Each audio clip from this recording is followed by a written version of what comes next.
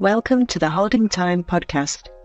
Here we discuss breastfeeding in all its complexity, the ups and downs, the challenges and the triumphs. Whether you are expectant, a new mother, or simply interested, I hope you'll appreciate the incredible warrior women featured in this series. In this mini series, we go back to feature some mothers who helped to shape the Holding Time project in Coventry these interviews took place over Zoom in 2020, quite often under lockdown. It was the best of times, it was the worst of times. Find out more by visiting holdingtime.org or support us on our Patreon channel, Holding Time.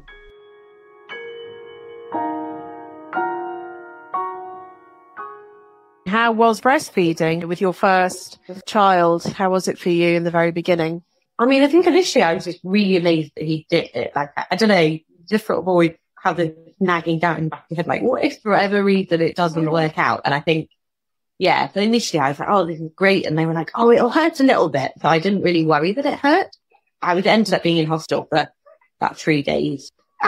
And kind of each time someone saying, Oh, how's the feeding going? And I'd say it's really painful. Like this doesn't feel right. It's really, really painful. Like, oh, but you've not fed before. You know, you're not used to this. It's meant to hurt. It's really going to hurt because it's, it's the first time. And they were like, Oh, what kind of pain is it?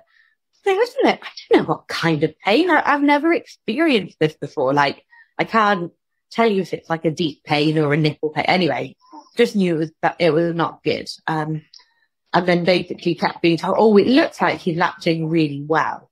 Uh, or, or even worse, I can't really see, but I think it's a good latch. So then I'm like, well, if you, you're saying it's a good latch and everyone's looking at him saying, well, he's not got children tie and everything, everything's perfectly fine. And it, it just really wasn't. And it took, it took about a week. A midwife came and saw me on day five or something like that, or day, maybe even day seven. I can't quite remember. And she just said, oh, you're like wincing. You're not able to talk to me while you're feeding. Like, what's going on? Is everything okay? And I just thought, said, oh, it's really sore, but I keep being told it's normal. And she put me in touch with the infant feeding clinic in Coventry, who were really great. Like, they just came and sat with me and helped me figure out how to latch in a bit better. And basically said, oh. yeah, he does have a bit of a tongue tie and he's struggling to stay latched on deep enough and gave me some techniques and kind of it, it, it improved, but wasn't perfect. But probably by the time he was about six weeks old, I was like, okay, yeah, this is, we've got this now. We're definitely fine. But he just self-weaned when I was pregnant with my next. He was about 18, 17, 18 months. And I'm a bit sad. I didn't want to stop, but equally, like, that was his choice. So it was a bit sad because he went from like being perfectly content on the boob to like the next feed just literally screamed and refused it and then never had it again. Like, never wanted it again after that. Um, Amazing which was really like really bizarre. To go Could be your oh, milk yeah. changed because you were pregnant. Yeah, but it, it definitely has because you had some weird food that week. So ah. my milk been changed prior to that. I come out of it feeling like actually, you know, that first bit was hard, but now I know how it's meant to be. That should massively improve things for next time. But I think it was just a lot of like, a lot of self doubt. And I think it was probably the same in my labour. Like, I had a textbook labour with him, but actually, like, it didn't feel very good at all. And I think similar with the breastfeeding, really, again, like, even once it was going fine, I didn't really, still didn't fully know what I was doing until after. I've been like, oh, we've done this for ages. Like, of course I know what I'm doing. Yeah, so that was my first. With number two, he had a really noticeable tongue tie, like me and my husband saw it straight away. And the mid, even the midwife who was like, I'm not trained in this, but I can see that he's got that. And it was painful. But I think because I'd fed a baby before, they were like, when I said it hurt, they were like, okay, well, let's do, you know, let's do, see what we can do. And on day five or day six, I think we paid someone to sniff it for for us because it was getting worse than the referral for and them to do it on the NHS was going to be free out the ages. And it definitely improved after that. But I think I'd had a lot more like damage whilst he was latching badly. So it took a lot, a lot longer for it to feel better. But I think I was just quite disconnected from the feed. So whilst it basically what I remember of feeding him in the early days is it hurt and I didn't enjoy it because it had taken me away from my older son. And probably also it was just reminding me of how labour had gone and it was difficult and didn't feel like particularly pleasant experience until probably when he was about six months old, I started to actually properly enjoy the time that I was feeding him, which was nice and not. I was like able to be there in the moment with him rather than kind of disassociated from what was happening. which was great. Oh. But it was, yeah. I think again at the time, I don't think I really realised it was one of those like, you know, all the health and some midwives and they, how are you feeling? And you think, oh yeah, I'm okay at the minute. But actually, like, I don't think I was, but I don't think I really realised at the time that I wasn't okay. Which I think is why it ended up actually being like a bit of a shock, like when he was born and actually intervened, not exactly the labour I'd planned because it was really fast and, you know, just, it, but it was actually amazing. It was better than I'd planned his feeding was was definitely painful, and it was painful for a lot longer than it was with the other two. And again, he, he had a tongue tie, and we paid again for it. He'd have it snipped quite early on, but actually, like it was more that he couldn't just couldn't get the hang of opening his mouth really properly at all. So it took a long time. But I felt so much better about it, and I think because I felt better about it, I could like focus on how he was feeding each feed and like try and correct it. And, yeah, I think I'm pretty happy still, which is nice. So there was quite a big difference then between your first, your second, and your third. And your second sounds by far to be the most difficult time that you had, even though the actual feeding wasn't as bad as the third. Once he'd had his tongue tie snipped, the mechanics of it with my second were a lot easier than with either of the other two, but particularly more so than with Icarus, but actually a lot, a lot more painful. Um, but I think, yeah, I guess I think I'd had a, a labour where I'd initially mm. thought I could trust what was, you know, trust the process and trust my body and then kind of be like, I think now I've sort of gaslighted a bit to feel like I couldn't. And I think that probably fed into the feeding side of it. Like it's hard if you can't trust what your like biology is capable of, then actually how do you do a biological function, let alone the emotions that go with it and all of that side of things. So yeah, three different, very different journeys really. And have you got three boys? Yeah, three boys, yeah. Yeah, Finnick, Harvey and Icarus. Oh, how nice. Gorgeous. Were you mm. breastfed? Yes, I was breastfed. My mum had no support when she fed us really. So she, we lived in West Africa and it was one of those things like, if she lived within an, like an African community, then there would have been a lot of support. And it's not, I don't mean that they were completely separate, but it was just a bit of a strange situation where they were quite certainly isolated from family because all of our family were in England. And yeah, so I think actually my mum struggled a lot. Struggled to feed my brother, and that would be really painful. But then I don't think she fully understood what the difference would be, why it wasn't painful by the time she had me, for example. I didn't, so I didn't really like talk to her much about it. And they're not, they don't live very close by anyway. But my husband's been really supportive actually. Like he, particularly with my second, where I was really struggling every feed, like in the night pretty much. I'd wake him up for every feed and he'd just sit and like, just do like things like gently stroking my hair because then I had something like positive to think about. And yeah, a lot of like, he's just amazing. yeah, I think he's probably like the biggest champion for me in terms of breastfeeding. Ah. I don't think I could have kept going many of them really like without him, which is really wonderful.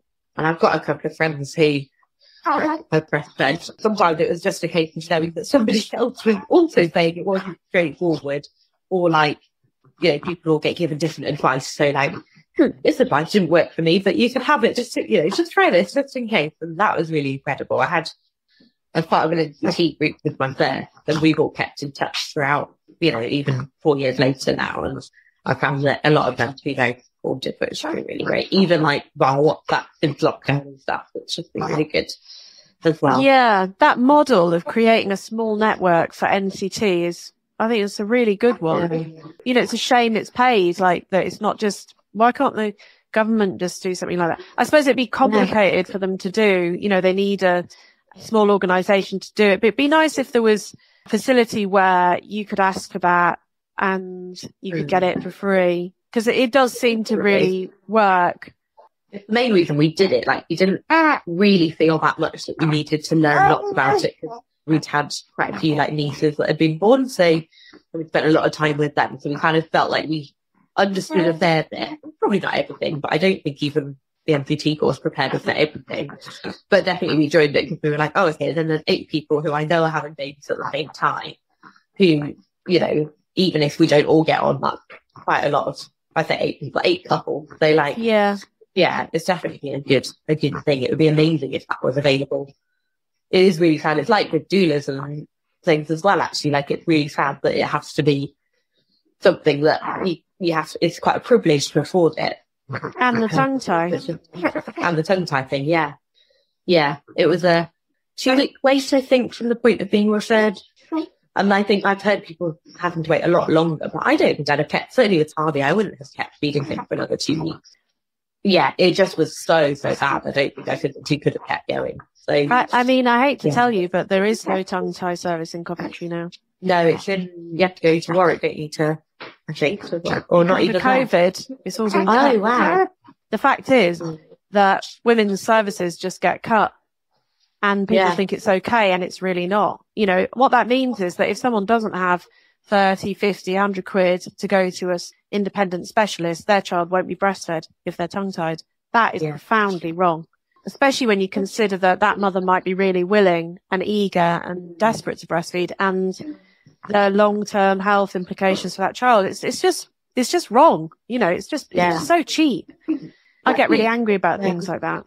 Yeah, me too. It's not, it's not right, is it? And it's, I just keep thinking if men had babies and if men breastfed, all this stuff, it might not all be free and it might not all be straightforward, but it, there would be a lot of people doing all of these different things like infant feeding support. There'd be a lot more of that. And just, I don't know, people would be investing a lot more money into it, I think, which is quite Yeah. sad, very frustrating. Yeah, I, I agree. I think that, um, you know, if you look at other momentous life events that happen and the amount of support that exists around them, like, for example, I mean, I know it's, it's different because it's a terminal illness, but if you look at, like, if you're diagnosed with cancer, the kind of support you get, the sort Yeah. of treatment you get, you know, you think, well, this is about wellness. Yeah. The whole sort of thing about the health service has been tilted towards disease away from wellness. Hmm. So all the resource has gone to making people well that are ill rather than keeping people Yeah. well that are well, you know.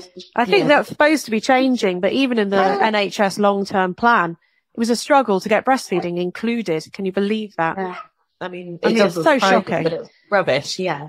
How do you find breastfeeding in Coventry? not had any negativity actually at all. Like I found people, I've had a couple of people like come up to me and say, "Oh, like that's amazing that you're just feeding." I'd never made an, any attempt to cover up because it was, it was so hard of infants to get them to latch anyway. There's no way that I was going to like put a cloth over their head so I couldn't see what they were doing the whole time. And a couple of people come up to me and said, "Oh, I'm I'm really glad that you've like felt comfortable enough to feed him." And so certainly like a couple of cafes that, that I quite like to go to where they're like really, I think just they felt pleased that then, you know, people know that that's like a safe space to be. And uh, yeah, I've not had any like funny looks or funny comments or anything like that, which I find really great because I definitely read a lot of stories from other people that are saying there's quite a negative reaction. I think I end up having a lot of, certainly this is like pre-COVID, I guess, when you're actually able to be out and about in the community with other people. But I definitely have had conversations with women that have made me feel quite sad just because that, you know, they'll be chatting. Oh, I, I just couldn't breastfeed, you know, I didn't make any milk or I, I had to top up with formula. And I find it really hard because actually I don't think that's true a lot of the time. I think the number, I can't remember what the percentage is, but the percentage of women that don't make enough milk is really, really, really, really low. It's just that people are given poor advice or no advice and formula is an easy option, except obviously I think people think that phrase said is best is important in terms of if breastfeeding's not working out, it's really important your baby is fed. Absolutely. But actually like it, it diminishes how people feel about it. I think there's a lot of people that stop breastfeeding that don't want to. And so then you're just kind of saying, oh, but at least they're fed. And it, it diminishes that emotion of, okay, but I'm still hurting because something I wanted to do isn't working. And I think that's, yeah, I've definitely had a few conversations where that has, things like that have come up where, yeah, I think probably they were given poor advice or, or potentially were just too exhausted and that's understandable too, really. But it would just be nice if there was a bit more support. So if they made the choice to switch to formula, that that can be like a fully comfortable and informed choice and not an agonizing, sad one that just happens when they're not ready. Well, I suppose, you know, some of it, you know, there's a lot in there, but some of it is that when people say they haven't got enough milk, a lot of that's to do with the cultural ignorance around breastfeeding because people mm. don't realize you actually have to quite often create milk by cluster feeding. You know, Yes. that when a baby's feeding a lot, that's because they're bringing down more milk. If people don't understand that, they will think, oh, the baby's really hungry and I haven't got enough milk. You know, it's, Yes. it's, It's just a sort of real lack. We've lost the expertise basically. And Yeah. That is leading to less and less breastfeeding. It's a downward spiral. I mean, you can try and correct it by having peer to peer mentoring and peer support, oh, but that's, that cannot compensate for having a friend or your mother or someone close to you that's there constantly, consistently mm-hmm. give, you know, guiding because it's, it's not a, a one-off relationship, is it? If you need support, you need support maybe weekly or every other day or maybe every day. And it makes me um, very sad and sorry, the whole thing. I suppose that's why I'm doing this work because to some degree we can change it. I mean, I think YouTube's a great tool for getting sort of new information circulating. Women, they really do watch these videos. It's surprising that this sort of technique isn't being used by everyone. as you said before, like there's a lot of NHS money goes to treating diseases and problems. And of course, labour and birth and breastfeeding aren't or shouldn't be problems. They're not illnesses unless you are unwell within that situation, but actually that's a Yeah. It's not at all something that needs to be medicalized. And I, I'm kind of like quite opposed to it being med- mm-hmm. medicalized. But on the other hand, what I have seen is that when people do have problems, Teams in Coventry is quite a good service. Women are brought back into hospital and, and shown how to use a pump. Well, that's quite good. That's actually better than Brighton, but it's all just private sector, you know, having to fill in all the gaps. And Yeah. yet this is quite an easy thing to provide. So I interviewed people at the Royal Brompton and they have a, a, a baby unit for children with heart problems. Those mothers are really encouraged to breastfeed. I mean, yeah, they have, they, their babies are taken from the womb to an operation. You know, it's really, really tough.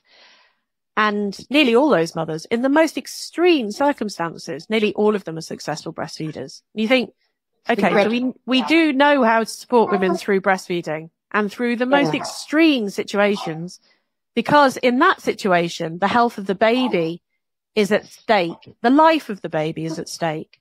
But Yeah. actually, when you look at breastfeeding statistics generally, like it's the health and well-being of all children that's at stake and actually all mothers. Because there is this mental health impact of wanting to breastfeed, not being able to breastfeed. Like you say, the, the, the grief attached to it not going the way you want. And it has a, I mean, I think personally from talking to a lot of women, it has this really long-term effect. my mother-in-law, her eldest, had a tongue tie, but nobody knew about that as a thing back then. And so it's my husband's brother. And she really struggled to feed him. There was no support. And it was just a, well, if you can't feed him, you know, pop him on formula. And so, I mean, with then my husband, his younger brother, like she didn't try and understandably so, because actually it'd been so traumatic and she'd beaten herself up so much Mm. over it for not because she, yeah, because she felt like she couldn't, like she'd failed, because she didn't want to try the next time, and you cannot absolutely cannot blame her for that. But it's only really since she's then had grandchildren, and then you know all three of my children have had tongue ties, and she sort of thought, oh, okay, so if I'd have had support, actually maybe it would have been possible, and it's not. And I think that's quite hard to suddenly think. It's a good thing that she's realised it's not her that failed, but also it's really rubbish to realise that actually she just needed someone to sit with her probably a few times a day for a few days to help her like figure out what to do rather than just be told, oh, here's a bottle, that's not the problem. Mm. Yeah. No, it's, it tends to be women who are networked into support systems that do better. So it's either black and minority ethnic women who've got an unbroken culture of breastfeeding with aunts and mothers and mother-in-laws who are all sort of helping them through and giving them advice and also just literally physically helping. Or it's, it's mothers who can afford to pay for that support in one way or another and patch it together. Often I find that's still quite a difficult option. You can't really compensate for that cultural belonging to breastfeeding. Yeah. There's a great deal to be said for just having the mindset, like you said about birth, you know, of just trusting your body and believing that this will work. But then you will always have problems. Like you had that faith, but still the problems are there and you have to still get over them. Yeah. It sounds like your husband was really the person who really sort of saw you through those dark days, you know, more than the professionals. Oh yeah, definitely. And I think, I guess because he, you know, certainly for that first couple of weeks, he's there all the time. And even after that in the night, when it, it is always a lot harder in the night. I don't know whether it's just because they're more tired or there's nothing else to focus on or what, but he with me quite a lot and just, yeah, certainly for a second it got to the point where, because I've had the C-section, he was getting up, the nappy, like changing napping, all of that stuff initially anyway. It got to the point where I could definitely physically have done those things, but he was still kind of getting in the night to like just be with me really and kind of distract me or like encourage me. And I remember a few times it was one of those, it becomes a bit of a vicious cycle of it really hurts to latch your baby on. So then you're really tense and then you can't latch your baby on properly. And he'd kind of be there to try and keep the baby calm. Like, so I'd basically be there trying really hard not to scream and he'd just hold the baby, like stroke his head, like just particularly a but with all of them, like stroke the head and say, okay, so that at least certainly in my mind, at least what the baby's feeling isn't my stress, and therefore it kind of relaxes the whole situation a lot more, which, yeah, he, it's fantastic, really. I don't, I don't think that just kept going very easily. I don't think I'd have kept going at all, really, if you hadn't been supporting me. I really, really hear oh, you. And, I and it's something that I'm super interested in. There's like a couple of things for me that have really come out of talking to women about breastfeeding over the years. And one of them is the importance of women like you that breastfeed for a long time and like the expertise that you start to develop as an experienced breastfeeder and how important, like how valuable that is culturally and how undervalued it is. You know, like that for me is one thing that's really interesting women who breastfeed full time, women who breastfeed multiple children become these kind of mentors. Because these are not things that are talked about in relation to breastfeeding. You know, like everyone's always about support, but they don't really talk about this. And the other thing that's really, really interesting to me is the role of partners. Yeah. And I have to say, particularly, it tends to be men. I mean, I suppose I don't speak to that many lesbian couples. You know, some of the women in my photos are lesbians, but, and perhaps it's not fair to say that that it's just a male thing. But I do think that person who's there all night and mm. all day, the fact that your partner got out of bed at night, it's so much about that solidarity and that showing of support and just not letting you be on your own. I think that is really massive. That role for fathers of of really educating themselves, being really knowledgeable, I think it's at least bit overlooked. Yeah. You could be I training an army of peer to peer mentors. It would never be as effective as, as educating that one person that's right next to the mother. Yeah, absolutely. Well, we've, now that we've lost our like wise women in the village, we, yeah, you need the, I can say the person that's with you the whole time to be, the, to be there really. Yeah, and it's kind of the, you know, the sort of changing face of what parenthood is, isn't it? I mean, our mm. children don't play in groups in the street. We don't have a shared collective kind of mm. overview of children. It is very much down to the nuclear family and the partner that's there, whether or not it's the biological father or whatever, that partner that's there, that person. And if you don't have that person, the interesting question is, how do you get through it? You know, who do you often I find it's mothers help out a lot in that situation. So you've had two children pre-COVID. How did that affect your experience this time? Was it positive or negative? You know, what did you notice? So I think a lot of the time it's very hard to kind of plan things. So it was hard to kind of know, you know, what was the, when I first got pregnant, I thought, oh, okay, well, by the time he's born, we'll be back to normal. And I think therefore kind of assuming, well, I'll be at baby breech, so I will be feeding alongside other mums and all of those things will be back up and running. And of course, of course, they're not yet still. Well, some are, but they weren't when he was born in January. So I think that was quite a big, a big shift. And also, like I had contacted the infant feeding team uh, after he was born as well. But again, like, you know, previously they had come and sat in my living room and just essentially waited until he was ready. You know, they tried to time it where he might be hungry, but who knows? And they just sat and waited till he was ready for feed. And actually what initially happened was someone tried to like video calls me, but they video called me kind of 20 minutes after he just finished the feed and he was fast asleep. Of course, that, yeah. They said, okay, well, what time do you think he'll feed again? And this was a, a three or four day old baby. I don't know what time he's going to feed again. And, and so then I had to go to the infant feeding clinic, which was better. Like, I'm not sure how, how I'd have latched him on and held the phone to like show what to, yeah, what was going on anyway.